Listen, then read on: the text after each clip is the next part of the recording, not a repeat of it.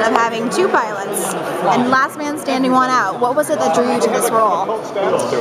I, uh, I, I a couple things. First of all, I love the script, and uh, it was laugh out loud comedy to me, and I love the idea of working with Tim Allen, whom I've always admired and wanted to work with.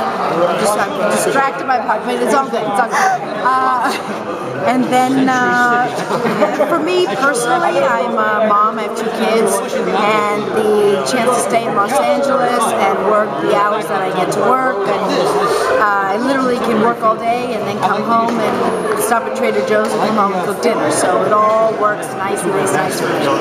And as a mom, do you hope to kind of see your own like mothering skills almost like parallel with your characters, or do you kind of hope there's like a drastic difference and you get to do things really um, I will say that you bring you bring your point of view into work, and it's it's. Uh, doing this kind of show where, where it's you basically have a general idea we're a family in Colorado and what else. So we all add our own specifics and, uh, and in an effort to make it as real as possible, we all add our points of view. And, and I, as, as a mom in my own life, I might say, boy, I would never say that to my daughter, or I would never expect that, or I would never treat my husband that way, or whatever. And we all bring that into it. And then uh, either it's funny or it's not. So. And you've done a couple episodes beyond the pilot, I'd imagine. So have you felt like you've learned anything in the process so far about this character? Or oh, absolutely. I mean, I think you really uh,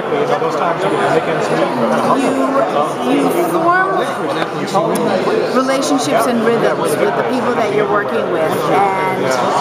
Uh, and for me, I mean, just working with Tim Allen, who's such a master, and, and his type of comedy and how I can uh, complement that, and vice versa. Uh, yeah, I'm learning a lot. I'm learning a lot just for my own self. Do you mind if I ask you one hard of this question?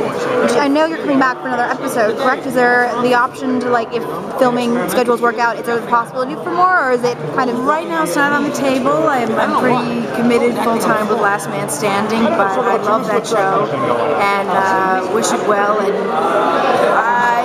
great if I'm 80 years old talking to you and I'm straddling whatever. It could work. You never know. You never know. And I've been in this business long enough to know that you never know. So great.